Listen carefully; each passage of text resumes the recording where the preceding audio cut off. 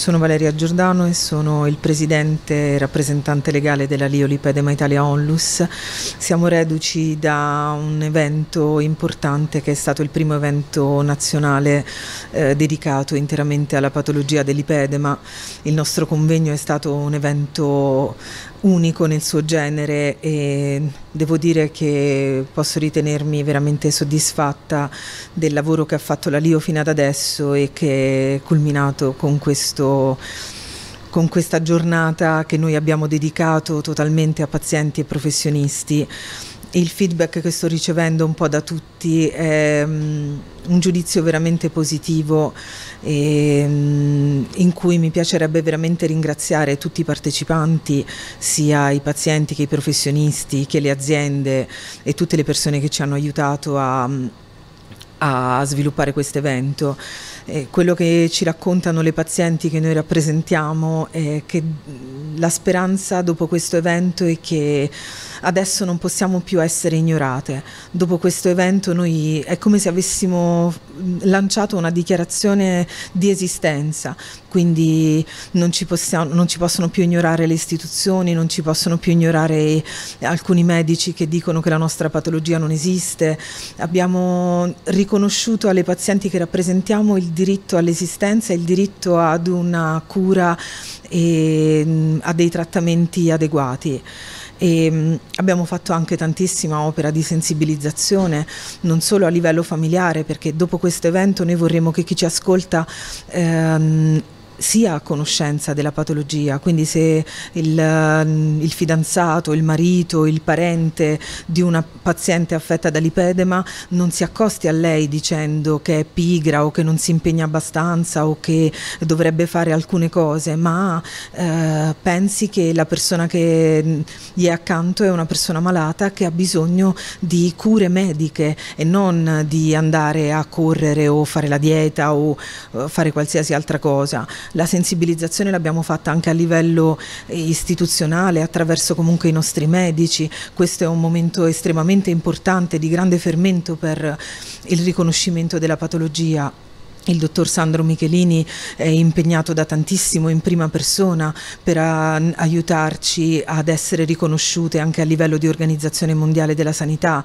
e sta preparando appunto un position paper per la redazione delle linee di indirizzo ministeriali e mentre lo stesso Comitato Scientifico della LIO a sua volta sta producendo un documento che è più invece magari un vademecum pratico per aiutare i professionisti che vogliono accostarsi alla patologia e cominciare a curarsi, a cominciare a dare delle indicazioni di modo che eh, cominciamo a curare le pazienti in una maniera pertinente seguendo una serie di indicazioni procedurali, pratiche sulla clinica che vengono eh, dai professionisti che ci curano più spesso e che sono redatte sulla base delle, delle linee guida dei paesi che se ne sono dotate, quindi comunque un qualcosa di eh, un vademecum per professionisti proprio per non lasciare tutti nel, nell'anarchia e nella più totale discrezionalità in cui si viaggia più spesso, soprattutto nell'ambito della confusione e commistione con le altre patologie come il linfedema, come l'obesità, eccetera.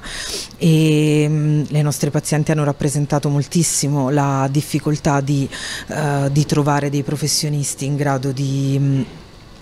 in grado di trattare la patologia, quindi quello che abbiamo fatto a livello istituzionale è stato comunque cercare di aumentare eh, la rete dei professionisti della LIO e speriamo che con questo convegno eh, siamo riusciti a, mm, a, sensibilizzare ancora di più e quindi speriamo che in molti ci contatteranno per, per poter eh, essere inseriti nei nostri elenchi medici.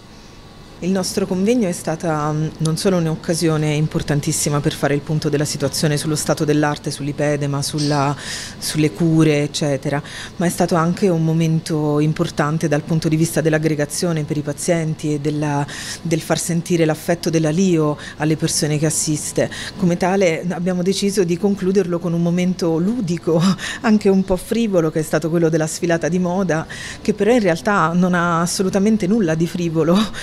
perché mh, ci siamo divertite moltissimo, è vero, ma il messaggio che vogliamo lanciare è stato un altro, è quello che comunque dopo tutto quello che i nostri medici e noi stesse cerchiamo di fare per farci riconoscere come malate, non non, noi non vogliamo sentirci soltanto come malate, siamo donne e vogliamo poter fare qualcosa per sentirci anche belle. È stato veramente bello vedere sfilare persone di tutte le taglie, persone affette da lipedema di tutte le stadiazioni. C'è stata anche eh, una, mm, una, persona in stato di gravidanza, quindi comunque una nostra paziente che aspetta un bambino, che è un momento importante nella vita di una donna e che in genere una paziente con lipedema vive con un grandissimo terrore. E mm, invece comunque noi abbiamo voluto lanciare questo messaggio di eh, mm, si può ballare e cantare anche nel momento in cui ti fanno talmente tanto male le gambe che non cammini più e quindi però vogliamo dare anche importanza alla parte dell'estetica perché è vero che noi siamo malate, vogliamo essere riconosciute come tale, ma il lipedema è anche un problema estetico. Noi rappresentiamo anche tantissimi pazienti in stadio d'esordio della patologia che non hanno avuto ancora una compromissione funzionale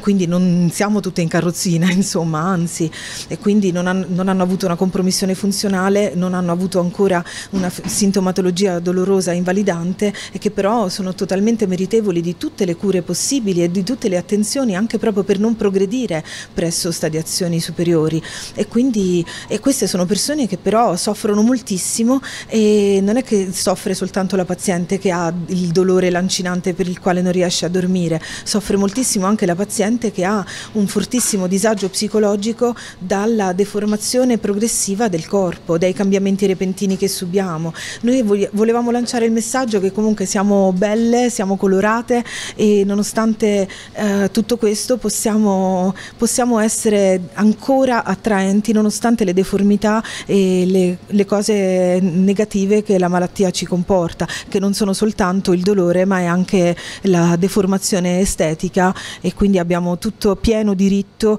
di essere curate anche dal punto di vista estetico estetico. E io insisto moltissimo su questo discorso dell'estetica perché io vorrei essere il presidente che rappresenta eh, tutte le tipologie di pazienti. È chiaro che comunque le pazienti si riescono ad identificare in me eh, quando hanno delle grosse difficoltà motorie, quando hanno dei, delle, una grave compromissione funzionale. Invece io vorrei che tutte le pazienti affette da lipedema, anche quelle in stadiazione più precoce, potessero identificarsi non solo in me ma anche in tutta quanta la LIO. Vorrei che la LIO potesse rappresentare tutte veramente e io mi rendo conto che comunque ad uno stadio iniziale della patologia eh, la, il disagio estetico eh, è una componente importantissima che porta a dei gravi quadri di eh, depressione, ansia, proprio perché non, vieni riconosciuto come malato e, mm, e soprattutto anche perché non, non sai dare una spiegazione di queste deformazioni progressive che avvengono sul tuo corpo. Spesso vieni accusata di questo e se non c'è consapevolezza della patologia non riusciamo ad uscirne. La parte estetica è importante perché noi comunque siamo donne, eh, siamo donne e vogliamo comunque essere belle. Il messaggio che volevamo lanciare con la sfilata è esattamente questo, che non è affatto un messaggio frivolo, perché è un messaggio che funziona moltissimo anche nei reparti di altre patologie esclusivamente femminili. Faccio un esempio banale, eh, anche eh, toccando la mia storia patologica personale, eh, nei reparti della ginecologia oncologica nessuno si pone il problema se siamo malate o non siamo malate, eppure la parte estetica è importante, noi nonostante cioè, il mondo del cancro ti insegna anche che comunque la malattia si affronta in maniera diversa, se non si perde la speranza e se comunque si continua a curare il proprio aspetto, poi magari sono tutte frivolezze, illusioni, perché i capelli finti, tutto quello che eh, correda anche la parte della patologia, però avere un estetista in ospedale che ti aiuta a dipingerti le sopracciglia quando non ce l'hai più è una parte importante delle patologie femminili importanti e potrebbe diventare una parte importante anche nell'ambito della gestione dell'ipedema. La LIO è nata nel 2016 dal grande cuore di Annalisa Bianchi, che è la nostra vicepresidente, che è stata la prima in assoluto ad aver radunato tutte le malate di lipedema in un semplice gruppo Facebook